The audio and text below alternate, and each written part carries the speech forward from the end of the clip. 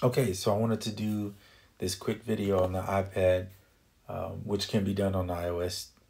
Can't be done on iOS, rather. I'm sorry, let me rephrase that. I wanted to do this on the iPad because it can't be done on the iPhone because Harmony Bloom is only on the iPad currently. Hopefully, I did mention this to the dev. If he could add it to the iPhone, it would be incredible. Um, because if you think about it, there's not like you're going in here doing a ton of adjustments. Most of the time, you're just trying to find something that sounds good and you just want to be able to use it in AUM to create. Um, if you're in a DAW like Cubasis, it would work too. Um, but on the iPhone, it's not, I mean, outside of maybe AUM, Cubasis, and maybe what was the other one? Maybe N-Track. I think that's about the only DAWs that you have access to that I can think of right now. There may be some others, and that's fine. But the point is, you don't have access to all the the apps that are on the App Store. Um, so sometimes that can be a little annoying, but it is what it is. It makes sense that some wouldn't be on there because of how much screen real estate and space they take up it would be kind of challenging. But AUM is on there, Koala's on there, and it would be nice to see this app. Now, I'm I put together just something that I thought sounded pretty good. But what I thought was cool was sampling it into Koala and then chopping it up again and playing it back. Because it's a sampler and that's what you should do, right? So I'm just going to select the pad and it shouldn't pick up my voice, so we should be okay. Um, let me take it out of import and go back to record from input. All right, I'm gonna select, select the pad and just press play.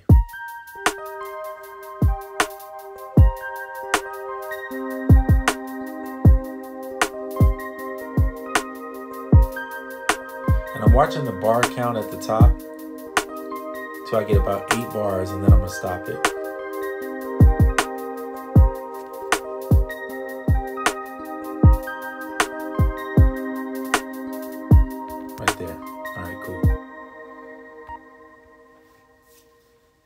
The initial crop, I usually do that first. I'm going to chop it right there. You know, there's a feature since I'm on this matter. I'm going to grab the mouse. It would be cool, and I've said this before, it would be nice in here, kind of like the SP, to be able to set the length of the um the loop prior so that it automatically cuts at that point. So we don't have to go in and do so much extra editing.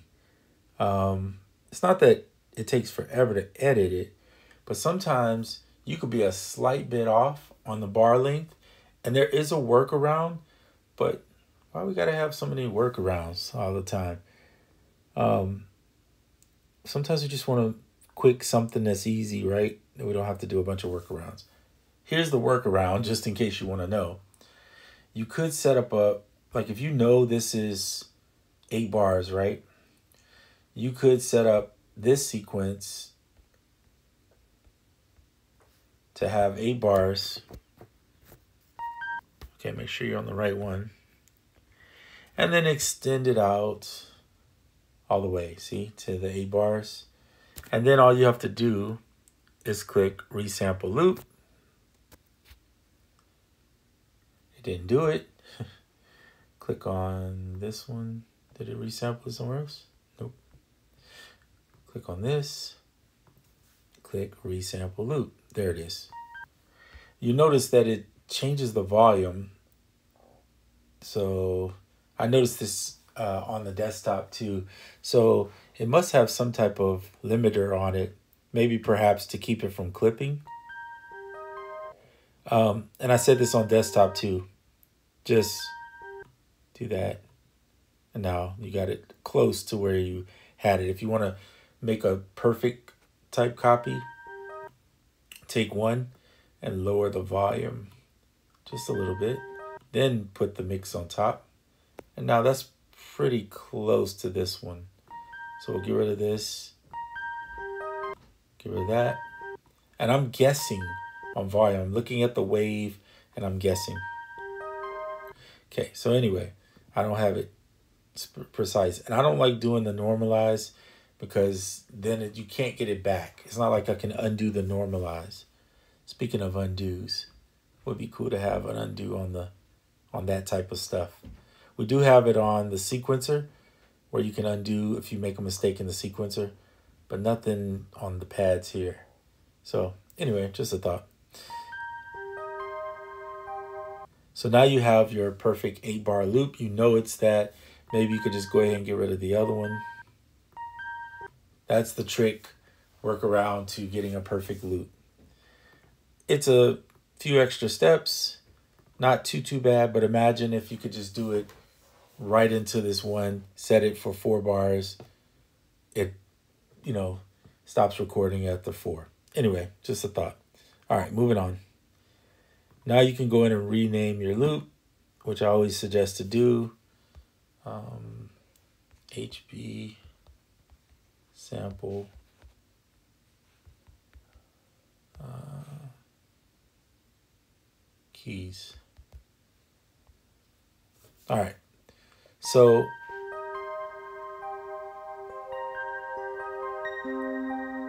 So you could do this a few ways. You could go tools, auto chop, do equals maybe. Set these to choke group, maybe two.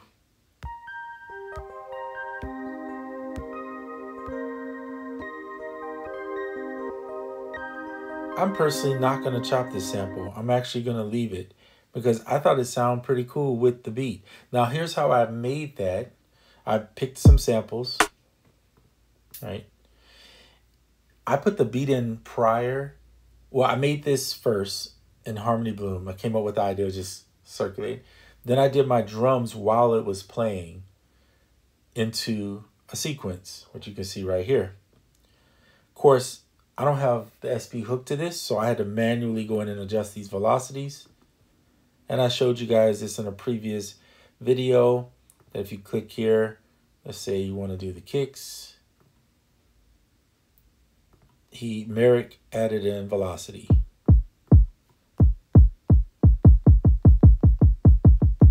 So I suggest if you got one uh, sample, and this pad is, you can see how much space he gave you. That's my phone. Um, so go ahead and just use that if you want to get your velocity changes in without having to worry about it. Anyway, that's just one way. But that's only good if you do everything separate the way I record. If you do everything together and you want to it ain't gonna work. Okay, unless you have an SP or you have, um, or you, I don't know how else you would do that. I guess you would just, you know, there is a way, and I've shown this, and I'm not gonna do this right now, but in past videos, that um, tonality. This is sidetrack. See how quickly I get sidetracked on something. Anyway, tonality can do an empty 4x4.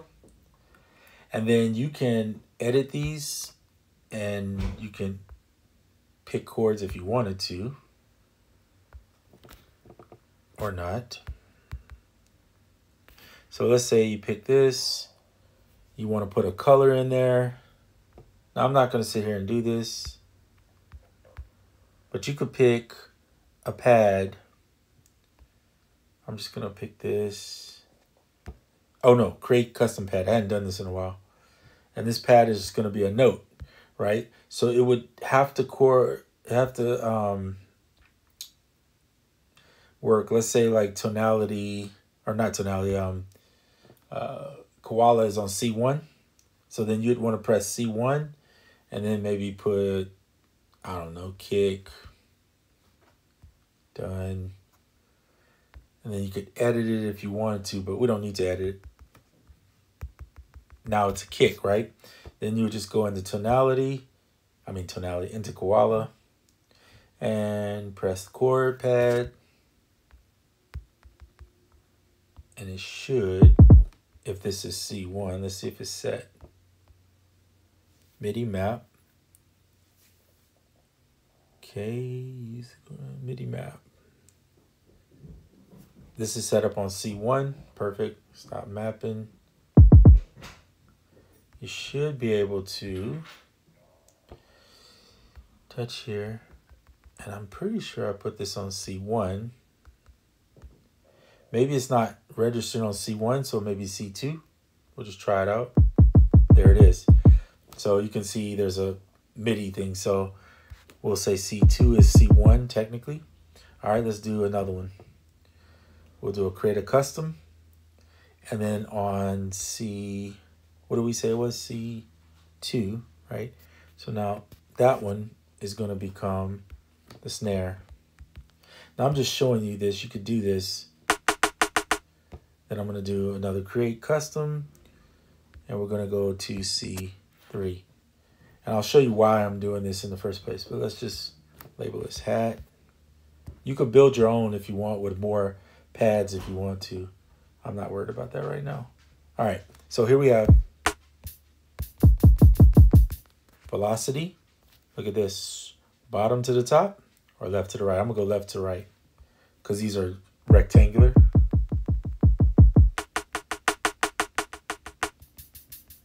See, so now you have, all right, so let's go in here. We're gonna get on a different sequence with one bar, turn that on, and then you wanna open up tonality. Sorry, that's my hand rubbing the, I'm gonna turn on a click track, put it on pre-roll,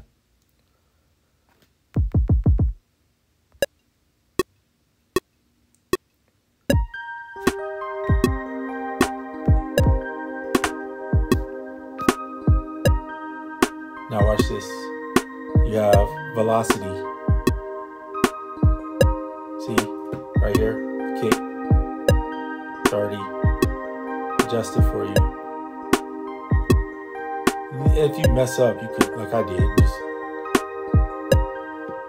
right? Then you want your hats on a velocity too, like change. Watch this. We shall go back in and add the hats now. Here we go.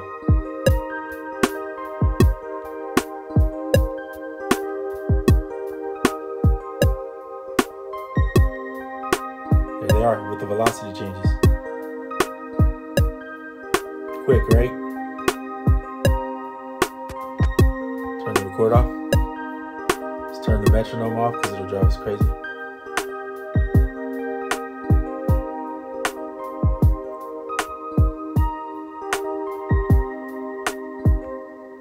And in the newer version, which is not on iOS yet, there is a bypass button, which is so cool can't wait for him to drop the release for you guys. But when you get that bypass button, you don't have to go in and disable anything. It's just press the bypass and it won't run while you're playing the rest track. So like I'm to have to turn that off for you to better hear what's going on here. So let's do, oh man, my stomach's saying I need to eat, but I already ate. Anyway, let's do this. This has to be eight bars for it to work. So we'll double up. There we go. That's eight bars. Perfect. Now we'll play it in here. Oops. Should be on this sequence. Why is it not playing? Oh, I know why. Stop. Because I have that pre-roll on. So that's why. You gotta turn that off. There it is.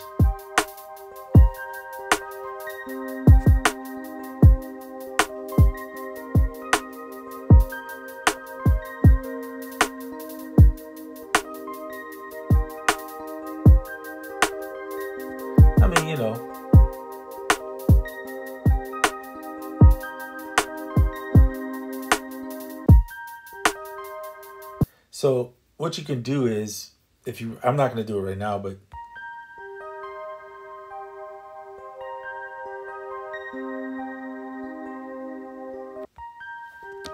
is you could create yourself a loop.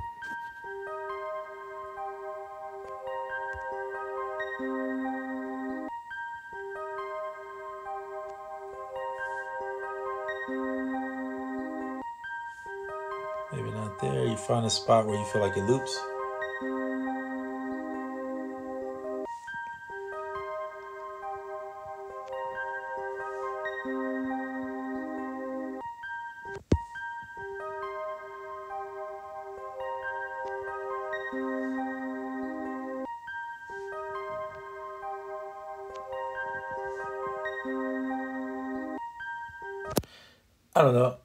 Everybody's gonna figure it out, but I'm just showing you how you could use it even with Koala and put a beat over it and find some sound in there. Now, you could have it running technically in the back. I'm gonna put this one on.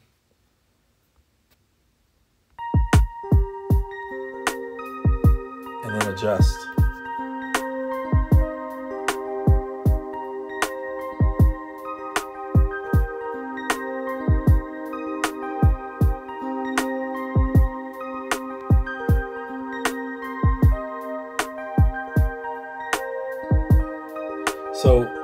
My suggestion for those that struggle with hearing the um, the loop, like usually if you work in sample based stuff, you kind of can hear what spot needs to be what and where you need to chop and just make a beat in Koala. It could be one bar, could be two bars, four bars, whatever. Have it playing in AUM, right? And just play this use the button out here on and off, right? That's it right there. Or use your keyboard if you have one. And just let it play while the beat is going and then adjust little parts, not a lot, just a little. Like I can tell you this, there's 12 notes in an octave, right? So look at the notes over here, 12 notes. I set the scale and I just picked whatever note collection I wanted, okay? Then I put that on and adjusted the probability so it wouldn't be 100% every time it's going to hit every note. Then I set the length. Of course, the tempo was set by the host. Set the frame down here of what you want to do. And then leave the speed and offset alone initially until you find the sweet spot or something that you want. Then you can play and adjust. They do have an undo and redo, so if you make a mistake on something, just hit one of these two. And use the offset, the um, the quantize offset. So this is quantize, and this is free offset. So they kind of can work together. You can have it somewhat quantized at a certain thing, but then slightly off too, so that it has some type of um, feel, I'm gonna call it, for lack of a better word, or vibe uh, going on. So try to think about those things. Like if you're using a guitar, technically, probably the max notes you're gonna play at a time is probably like six, maybe. So maybe just use six notes instead of using 12. Or maybe use seven notes. I don't know. Just think about the instrument what's in an octave. Then if you want to get wild with it, that's easy to do. But I'm talking about if you're trying to make something more um, tamed and um, catered toward something that feels somewhat natural, I guess you might say, then you could do that. Okay? So that's just showing you how you could put it in here with a beat. I even added in a little bonus feature of using here so you get the velocities. So you can create that. It's pretty simple. If you need to rewind and check that little portion of the video out, I would highly suggest it because tonality offers you the on-screen velocity changes. Remember, it's in the three dots. You can do bottom to top or left to the right. And use it as an instrument. It can be used in other ways too, but this is just one way. Okay.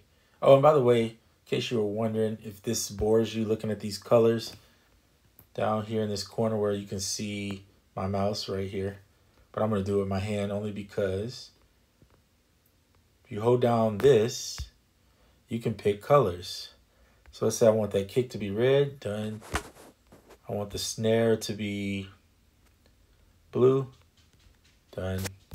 And I want to change the hat to orange, done. So now you have some colors. Right? If you need more space, just press this little button right here. Push the piano out of the way. Right? Especially if you're using this on an iPhone and you want to get the velocities. What's up, little pup? She's she just wants to be pet. She's like, I'm the pet. All right. Well, let me go so I can get back to what I'm supposed to be doing. And I just wanted to show you guys that. Um, if you need more volume on the velocity, it's right here. It's a little slider. So you can adjust it accordingly. Right. All right. That's it for this video. And I'm out.